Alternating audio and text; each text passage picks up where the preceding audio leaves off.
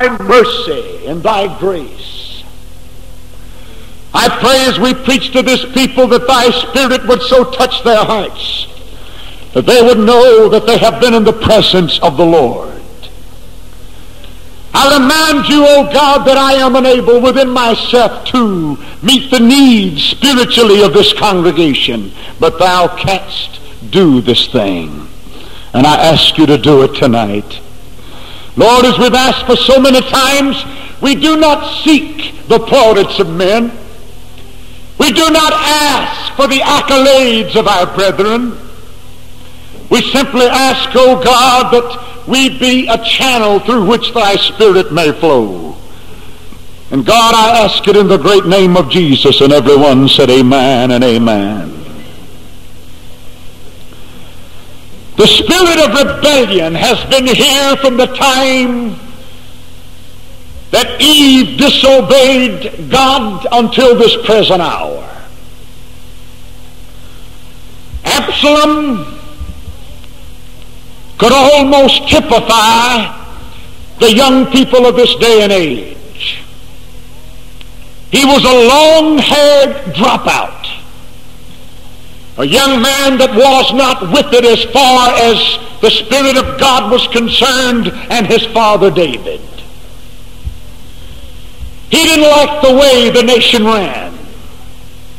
He was young, he was handsome, he was intelligent, he was intellectual. The Bible bears out in its record that there was not one blemish upon him from the crown of his head until the sole of his feet. It could have been so different, but there was a rebellious flame that smoldered in the very depths of his soul. A rebel spirit. A spirit that seemed to take him over. A spirit that seemed to strike out against one of the kindest men that ever lived, his father David. Absalom would have gotten along very well in this slick, smart, sophisticated age in which we live in today. He would have gotten along with this modern crowd. He would have fit right into the groove with this era of society that is striking out against the establishment. But this is exactly what Absalom did. He didn't like the establishment. He didn't like the way the nation was run. He did not like civil authority. He told person after person that would lend him their ear that there was a much better job that could be done. There was a much better way to do it. His father was an old fogey. He was an old-fashioned man that was behind the times. He wasn't up to the modern trend that had set in in this affluent, prosperous nation of Israel. And many listened to Absalom, and he literally won the hearts of millions of people in that day. And brother, I want you to know in this hour, this rebellious spirit that is filling the hearts of so many of our young people uh, is winning millions to their cause. But it is a spirit of destruction. It is a spirit of wreckage, and the end thereof are the ways of death. There came a day when the die was cast. There came an hour when the lines were cut. There came a day that the dividing line was set right down the midst of Israel. The clarion call came. The forces of evil on one side, the forces of God on the other. For a few hours and a few days there it looked like that the throne would tremble. It looked like David would go down into abject defeat. Absalom, this young prince, Absalom, this young rebel, had won the hearts of the mightiest men of Israel. Ahithophel, the Bible said this man spoke with such wisdom that he seemed to speak of the oracles of God. He seemed to sit at the feet of God. He sided with Absalom the rebel. He went along with him. His counsel was given to this young rebel. This man fleet of foot and fleet of thought and mind. But the die was cast. The Spirit of Almighty God moved. 20,000 men died that day. Those uh, hills of Judah literally ran red with human blood. 20,000 graves were dug. 20,000 corpses littered that countryside that day. 20,000 homes that would weep and sob avail. And Absalom, the rebel that rebelled against God, that rebelled against his father David, that rebelled against righteousness on a mule that day, trying to get away. His hair caught in the low-hanging limbs of a great oak tree. And Joab, the military chief and the commando-in-chief of the armies of Israel, thrust three darts into the heart of Absalom. And ten men came up behind him with swords in their their hands and spears and literally cut his body to pieces and thrust him through. And thus the young rebel died. I said that to say this. There isn't but one way that the spirit of rebellion can end. There isn't but one road that it can take. There isn't but one conclusion, young man, and that conclusion is death.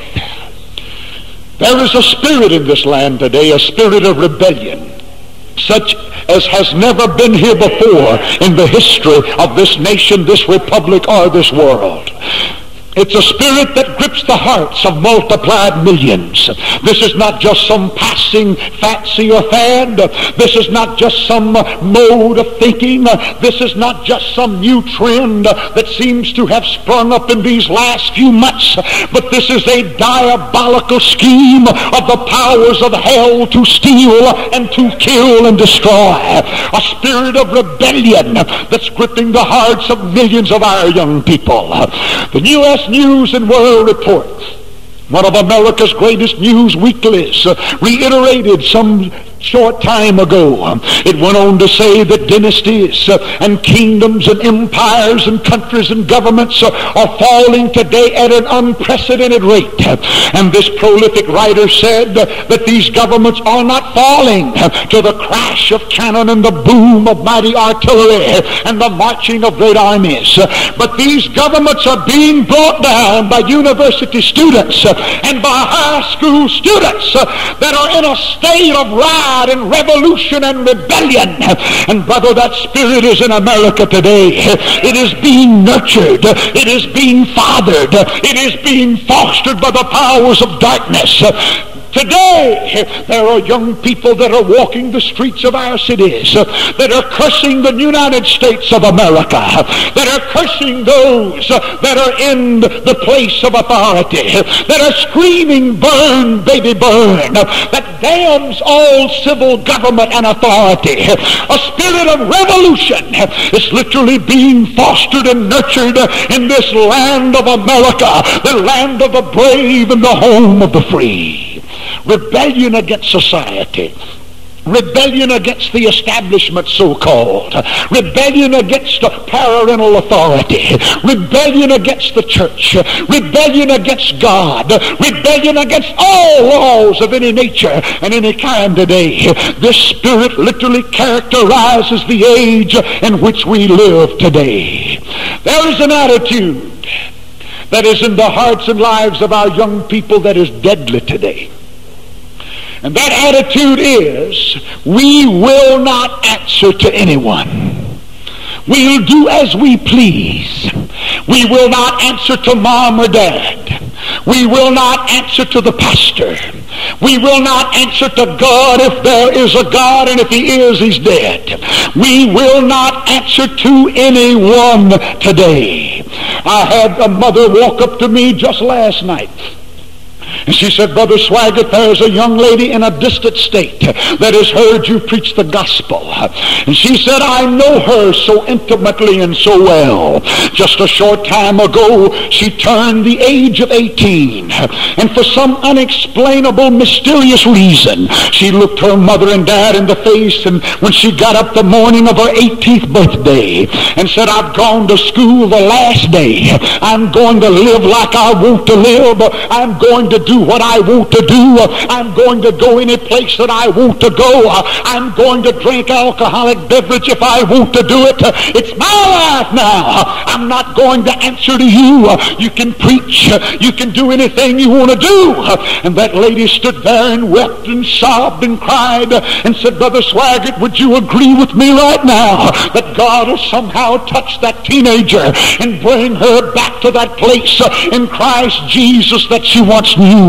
Mister, these are not isolated incidents, but this is happening in wholesale lots all over this nation today. Young people are looking at their mothers and dads. They're saying you're an old fogey. I don't believe that uh, ridiculous garbage that you're trying to tell me today. I believe I know the way I want to go. And I won't answer to you. I'll do what I want to do.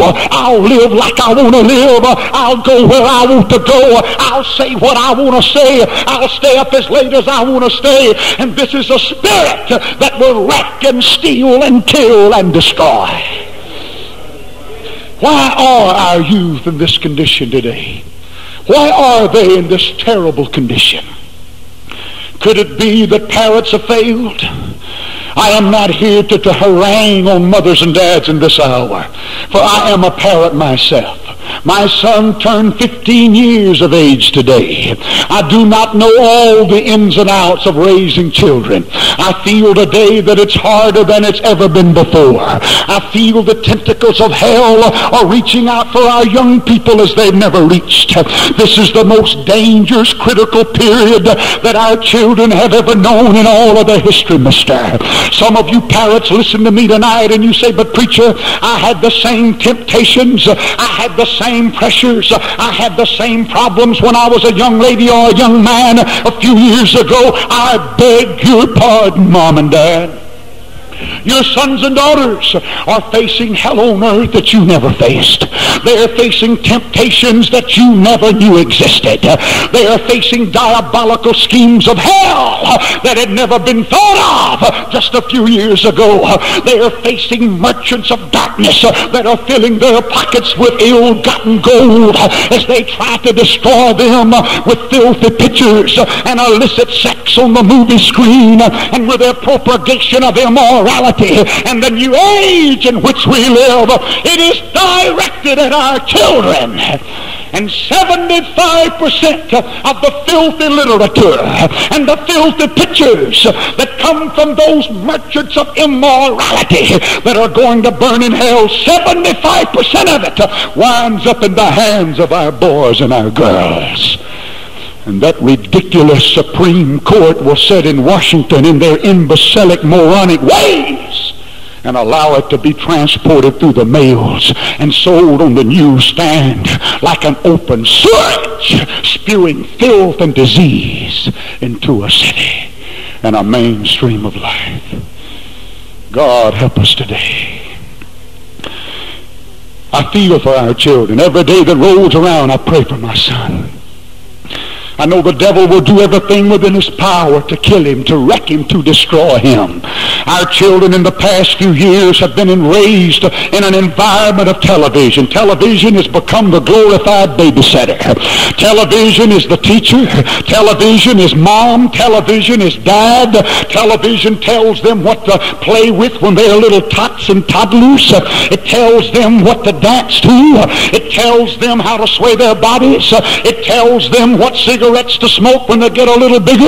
It tells them what beer to drink when they grow up just a little bit more. It teaches them of immorality. It talks about violence and pushes it down their throats. They're raised on a steady diet of it. And I want to tell you, mister, mom and dad, you'd better not take lightly what I'm saying and what is happening today. You had better guard your family and your sons and your daughters as you have never guarded them before. What this nation needs today is some more old-fashioned parental authority. Need some mothers and dads that'll stand up like men and women with the Word of God for their backbone and for their foundation and will live for God in front of their children. We'll have a family altar and will serve notice on that boy that he's not going to go to hell. Jimmy Swaggart wouldn't be here preaching tonight. I wouldn't be singing these gospel songs tonight. I'd be in a dirty, low-down, rotten nightclub somewhere. But my dad put his foot down and said, son, you're not going to do what Jerry does. You may not live for God, and I can't make you live for him, but as long as you're under my roof, you're going to respect my God. You're not going to drag in here at one o'clock in the morning. You're going to respect Jesus Christ. And I thank my God for it today, friend. We need some parental authority in the homes nowadays. Mom and Dad, I want you to know the old-fashioned belt may be old-fashioned, but it still does the job. It still gets the job done. And we need a lot of our parents, and I don't care how old they are. And this is some old-fashioned preaching you don't hear too much nowadays. But I don't care, Dad, if that boy can look you right square in the eye. As long as he's under your roof, he ought to respect you. He ought to respect God. You ought to be able to look at him and say, boy, you're going to church. And he goes to church church. You hear what I'm saying? There was a day it was that way in America. I respect my dad today. I'm 34 years of age and weigh nearly 200 pounds, but I'm still a little bit scared of my dad. And I thank God for that old-fashioned woodshed philosophy based on the holy word of God that he raised me on.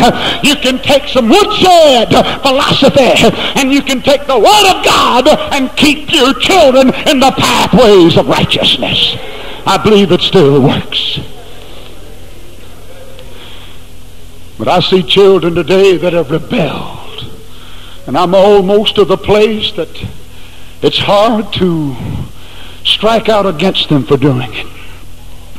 Mother and dad, what little vestige of religion they have left is simply telling the kids to go to Sunday school uh, or maybe sending them.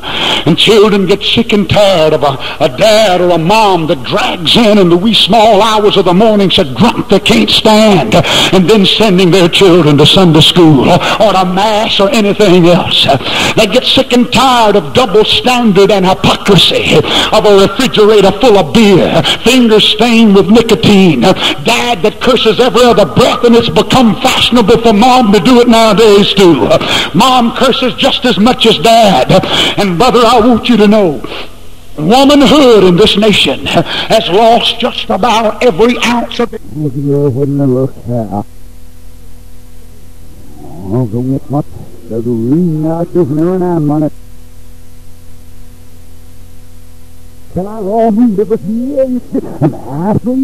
Will affect someone else. One of the most sordid experiences I ever read of, I read the other day. The police broke into a home at the instigation of neighbors. I say a home, an apartment. And when they broke into that little two or three room place, they found the mother, if you would call her that, sitting on the floor under the influence and effect of LSD. She was so out of her mind she didn't know she was in the world.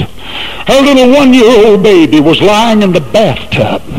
Blood was splattered all over the place and she had cut that baby's heart out of its body.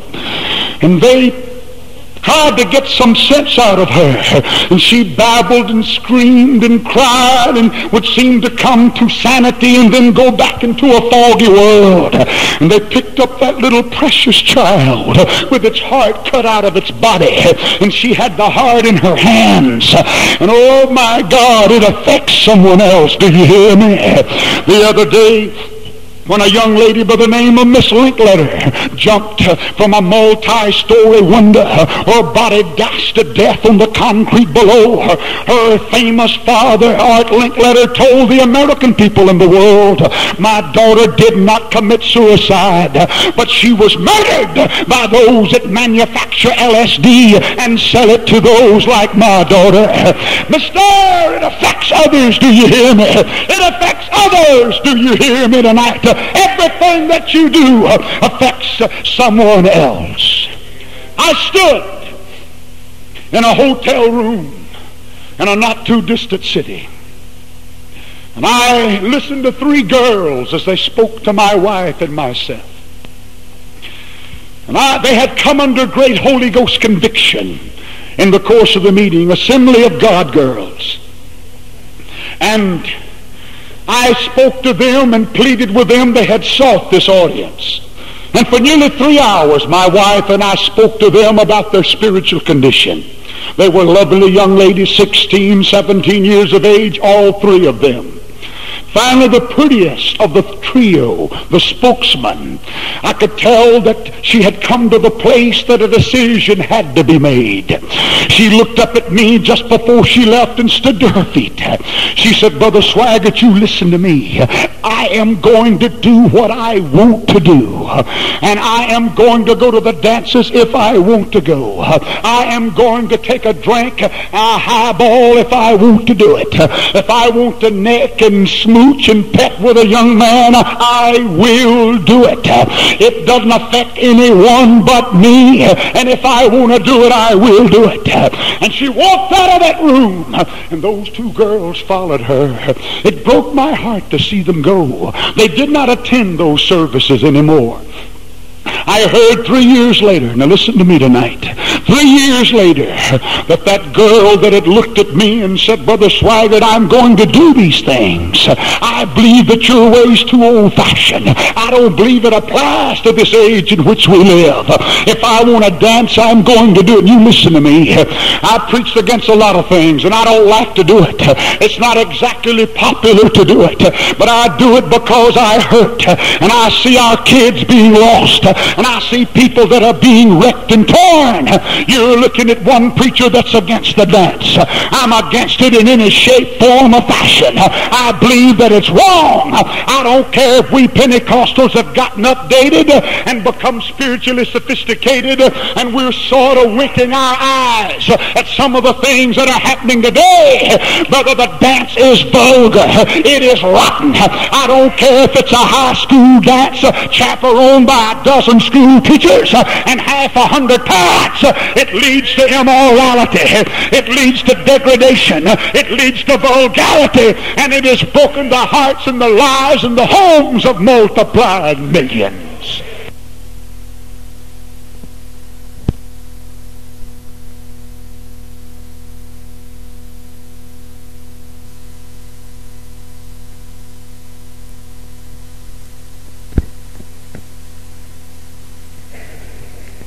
Young lady, listen to me. That body that God gave you was not intended to be used as a piece of merchandise on a bargain basement counter somewhere. This is the age of the flesh, the age of the titillating desire, the age when we tickle and tingle the senses. Do it, live it up. I think of the dances of yesterday, but mister, even those that were so so different than these vulgar dances today that they pale by comparison. At those dances, that's where homes started to the divorce courts. That's where young men started to be alcoholics. That's where many young ladies lost their purity and their character and their morals. And brother, it has gotten 100 times worse. And these dance programs that come over television with the beat of the guitars and the roll of the drums, this is not just some little fad called the twist or the frug or the jerk or the swim or the mucky but this is the power of darkness that has one thing to it, and that is to ensnare your son and your daughter. And I can see even little babies as they sit on the living room floor and that music will come on uh, and they'll begin to twist their bodies for the devil is starting young friend. He's starting day. I am not over dramatizing this thing. While i am speaking there are multiplied thousands uh, that are heading down that primrose path to hell uh, and they'll be wrecked and torn and destroyed and burned forever and forever. Not only be lost in hell but be wrecked here until life becomes a veritable hellish darkness. And that girl, that precious, lovely young girl, was killed coming back from a dance as her boyfriend in a drunken condition turned the car over and she never knew what hit her. The other two had to get married, the proverbial shotgun wedding. And I thought, oh my God, the wages of sin is death. Do your own thing, providing it hurts no one else. I picked this up out of the Chicago Dispatch the other day. A young girl wrote in and said, I'm 19 years old and I think I'm losing my mind. Six months ago, friends got me to take LSD and I fear it has made me mentally ill. Most of my pleasant emotions and natural feelings have left me. I went to the doctor at school and later to a psychiatrist, but neither seemed to know much about the drug and treatment for its effects. Can you find any psychiatrist who is qualified and experienced in handling a patient who has taken LSD? Another attitude that grips the hearts of our youth today is a know-it-all attitude. You can't tell me anything, preacher. A psychologist said the other day, it is no need trying to show people the harmful effects of their wrongdoings because that's never deterred anyone. Well, there's nothing else that can be done. God Almighty said in this book, if you do it, you'll die. You do it, you'll die. I know it all. Let me tell you, young man and young lady, you have the body of a man and a woman. But you haven't walked the paths. You haven't been along the trails. You don't have the experience. And what your mother and dad tells you they know for they have been there. They've walked those paths. They've shed those tears. They know what is going on. You think that sex, uh, why the old taboos have been done away with. Let's have one more big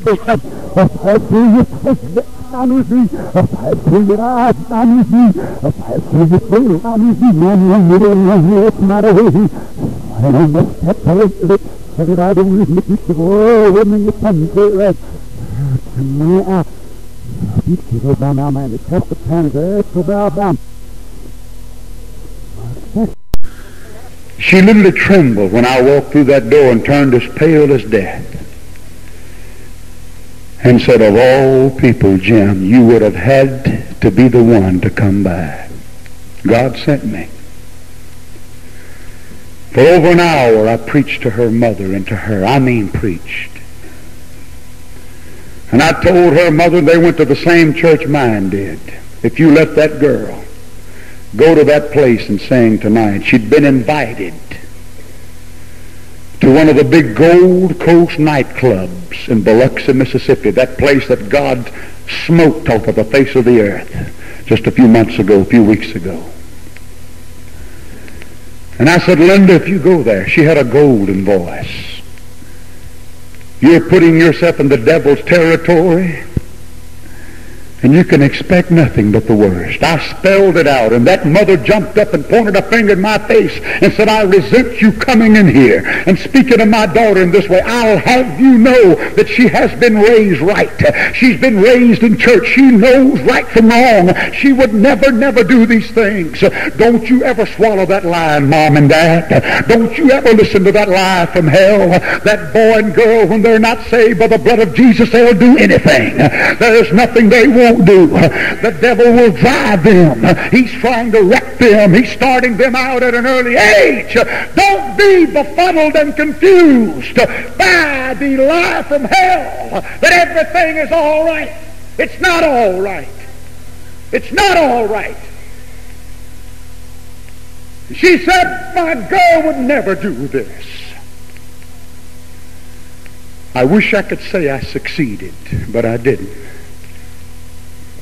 I didn't make the grade, even though I wept and pleaded and threatened and cajoled and spelled it out. I didn't make it. And four months later, at 16 years of age, just a child, I watched that mother and that daughter sit with head in hands and weep and cry. And that mother clenched her fist and pounded the table and said, Oh my God, Jimmy, my girl, having to marry a man 10 years her senior, no love there. Having to marry him, she was already two months pregnant. 16 years old. And I watched that girl put her head in her hands and the tears slip through her fingers and dropped to the floor and say, Jimmy, if we had only listened. And you know, after you take one step, young man, the other one is a lot easier to take. Young lady, you take one, it just seems like the natural thing to do to go ahead and take another one. That girl today has been married four times children that are shunned from here to there.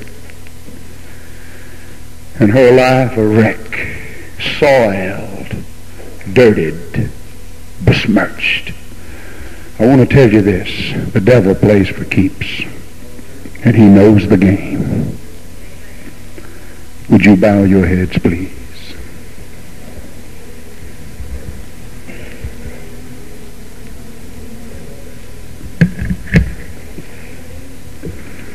Oh God, I come to thee this night grateful, thankful for thy love and mercy.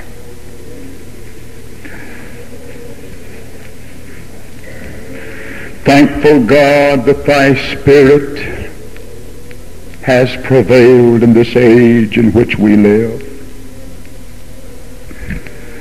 Thankful, O oh God, that people can still come to thee. And I'm asking you that your spirit would move in this place tonight. Lord, we've had to preach hard. We have not desired to do so. But oh God, I pray for our mothers, our dads, our young people. God, touch them and speak to them in this hour. I pray that thy spirit would move tenderly within and throughout this place. Father, this rebellious spirit that it may be rebuked. I ask it in the holy name of my loving Lord. In the name of Jesus. God, help us today. Help us today.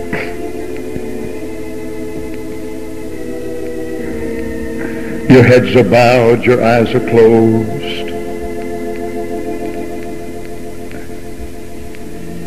Spirit of God is here. You know what I'm going to do first of all? I'm going to talk to you, Mom and Dad. How many of you here tonight? Brother Swaggart, we need to do a little straightening up in our home. We need to get back to a few things that we once did and no longer do, such as family altar, such as stopping a few things that are ungodly and immoral, that's designed to destroy the family. How many of you moms and dads would raise your hands, preacher, pray for me? I see these hands. Pray for me. We need prayer. Let me see them. Raise them one more time. I see them. God bless you. Could you play it just as I am without one plea, but that thy blood was shed for me, O Lamb of God, I come.